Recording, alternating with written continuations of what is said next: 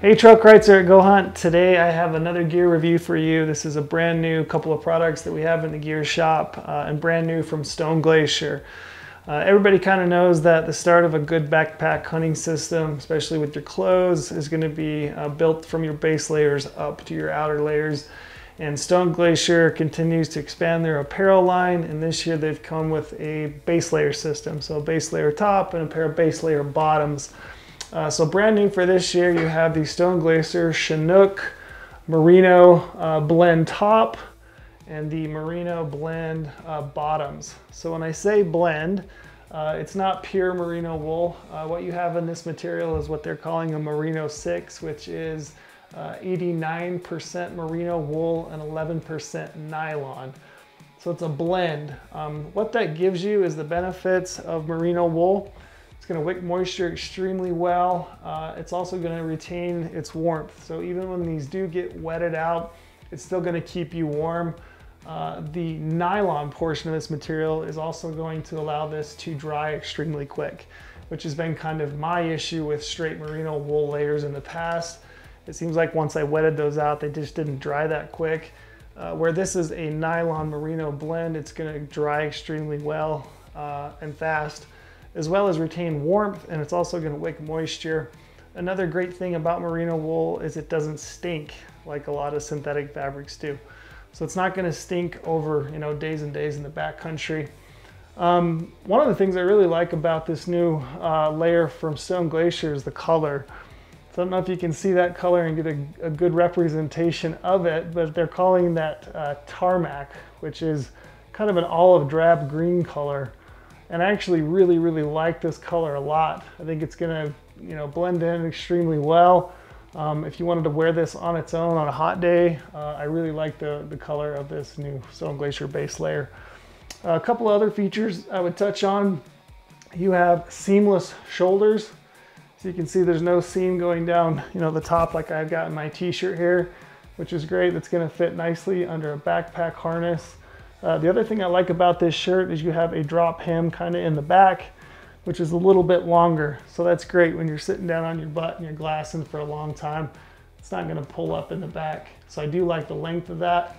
I like the fact that you've got a seamless shoulder, shoulder and uh, just like all of Stone Glacier's equipment, I really feel like this is a well thought out uh, technical piece of hunting equipment. So really like this new layer from Stone Glacier. Um, the bottoms, couple of features I would touch on about those. And again, I haven't had a chance to wear these, but by all accounts, everybody I've talked to has really, really liked them. They've done a ton of testing with them.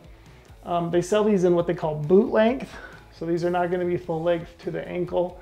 They're gonna hit about the top of your, your boots. So there's no wasted material where you're not gonna use that uh, anyway. So it's gonna give you the benefit of a long john, if you will, without going clear down into your sock and increasing the bulk.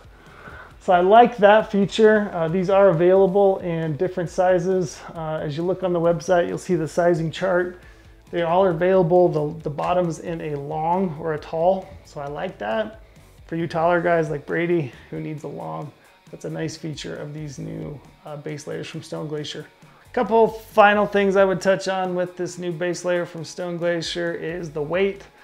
So for the top, you're gonna be 8.3 ounces on a large. Uh, the cost on this is gonna be $99 for the top. The bottom uh, weight on those is gonna be,